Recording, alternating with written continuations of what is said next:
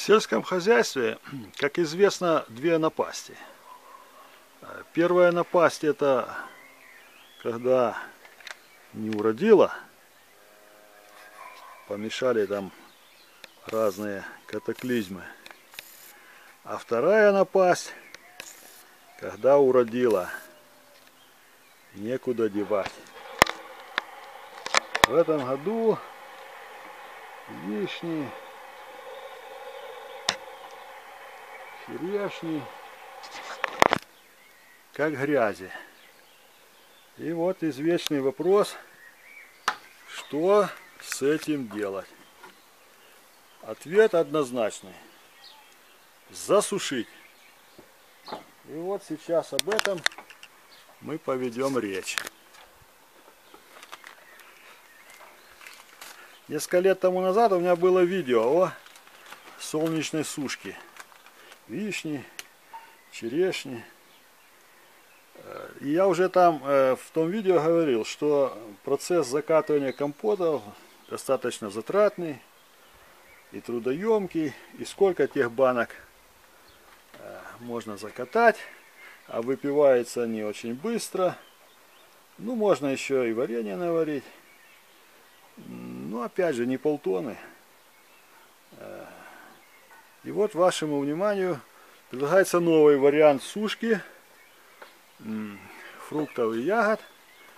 Это сушка э, воздушно-теневая. То была солнечная, а это теневая.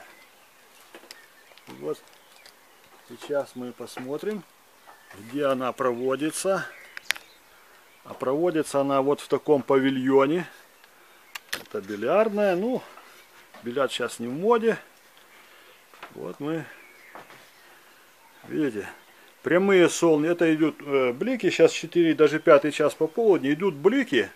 Но прямые лучи солнца сюда э, не попадают. Так что э, солнечным лучам не подвергаются эти ягоды. Вот при таком способе сушки сохраняется в полном составе набор витаминов, микроэлементов, органических кислот, сахаров.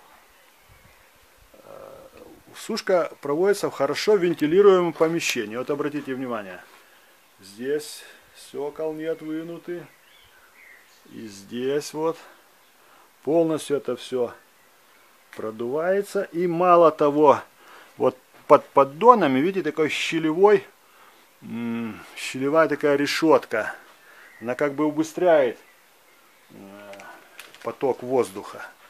С тем, чтобы хорошо все это вентилировалось. Вот э, в чем преимущество такого способа? При солнечной сушке на открытом пространстве, при сильной инсоляции, то есть излучении солнца, и высоких температурах часть полезных э, веществ, витаминов может не сохраняться.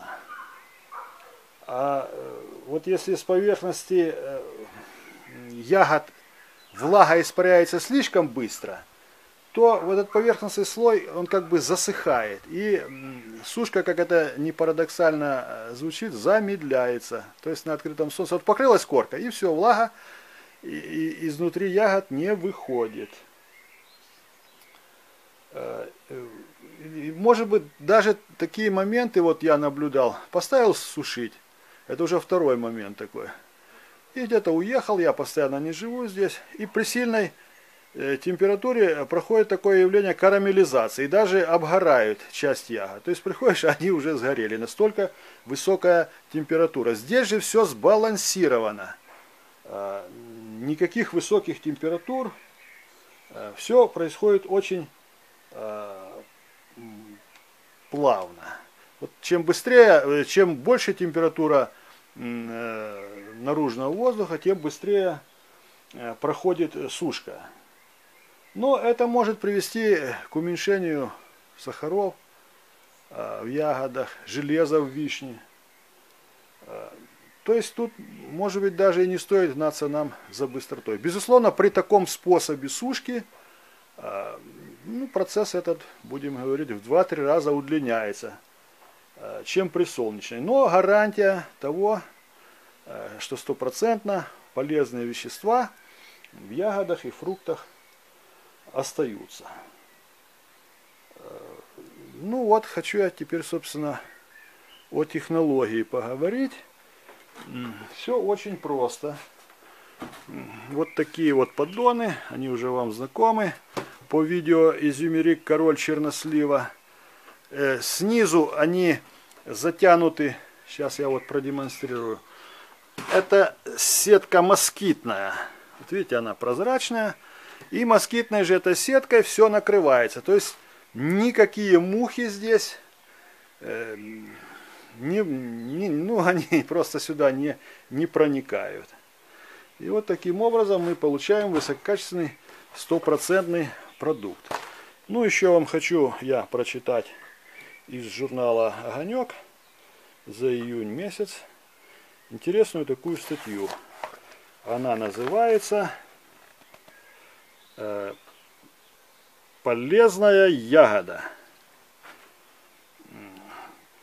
Самый полезный продукт в начале лета – черешня. Она богата полифенолами, тормозящими воспалительные и окислительные процессы. Работа научного центра Минсельхоза США показала, потребление черешни заметно снижает уровень маркеров воспаления в плазме и снижает риск многих болезней, связанных с хроническим воспалением. Это артрит, сердечно-сосудистые заболевания, сахарный диабет второго типа и даже рак – Здоровые добровольцы ели 200 граммов черешни в сутки 4 недели подряд.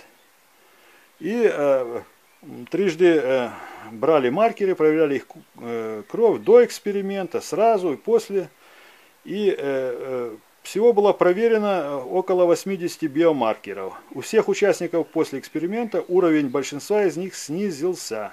Вывод черешню рекомендовано есть здоровым людям, чтобы отсрочить начало хронических заболеваний. И вот таким образом, имея вот такую вишню и черешню, которая стопроцентно сохранила все полезные качества, можно не 4 недели в году, а гораздо больше. Можно круглый год употреблять свежую вишню, черешню и другие сухофрукты. Чего я вам и желаю. Всего хорошего.